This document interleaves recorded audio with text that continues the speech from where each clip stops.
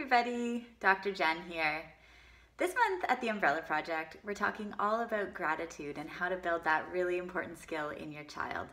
So today my tip uh, is about cultivating a sense of awe in your child. So awe is that feeling when we're just almost otherworldly amazed with something. A lot of people will say they experience that when they look up into the night sky and think about how big the universe is or when they're walking through the forest and they see a huge tree, just the ability for a tree to grow that big can inspire that feeling of awe.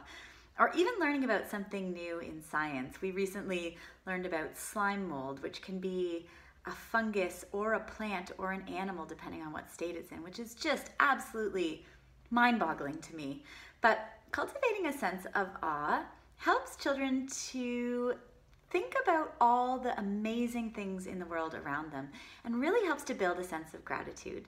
So, as my tip today, I'd love for you to find some things in your life that give you that sense of awe and share them with your child.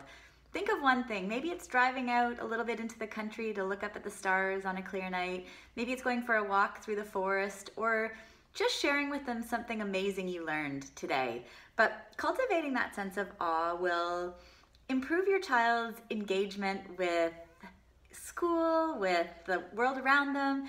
Um, and it helps, it's a very pro social skill, so it helps them to connect with other people and to step a little bit outside themselves, um, not thinking everything about them, but really connecting with the world around them and building their gratitude.